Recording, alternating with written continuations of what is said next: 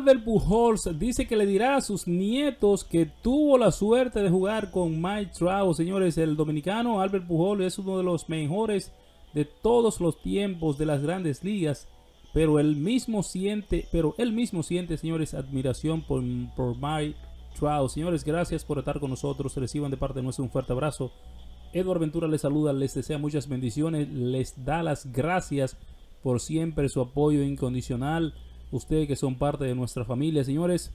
Recuerden por favor suscribirse a nuestro canal. Señores, inmediatamente con los detalles, Albert Pujols, sin duda, pues que es uno de los más grandes peloteros latinos que ha pisado y que ha pasado y que está pasando, mejor dicho, por el béisbol de las grandes ligas.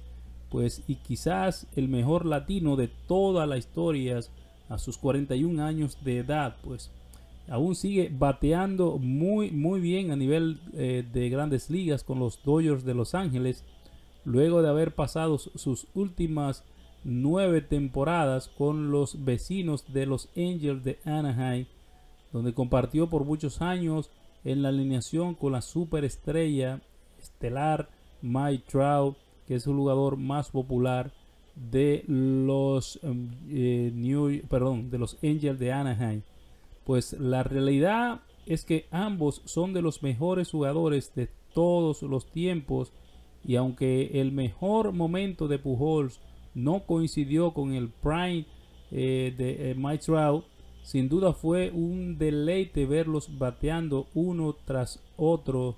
Eh, pues y el dominicano mencionó en un momento determinado que está sumamente agradecido de haber jugado con Mike Trout durante tantos años. Dice Albert Pujols, me siento enormemente agradecido de haber jugado tanto tiempo con él. Le voy a contar a, mis nietos eh, algún día que tuve la fortuna de haber jugado con Mike Trout, señores. Pues la primera temporada de Pujols con los Angels en el año 2012, la que pues casualmente coincidió con la campaña de novato de Mike Trout, donde este ganó novato del año y un bate de plata, pues quedó segundo en la votación para MVP, aunque nunca pues pudieron llegar lejos en una postemporada. Fue un deleite verlos batear uno tras otro. Así es que eh, ellos tienen una muy buena relación de amistad y qué bueno. Es una lástima, es una lástima, claro está que ah, en los Angels sin importar ese gran equipo ofensivo que han tenido, pues como dije anteriormente, nunca es un equipo que aparentemente no va a ir a ningún lugar este año tampoco. Y es una pena que pelotero de la talla de Mike Trout no lleguen ni siquiera postemporada. Creo que quizá en una o dos ocasiones han llegado a la postemporada, pero es han diputado creo que en creo que uno o dos juegos, no más de ahí.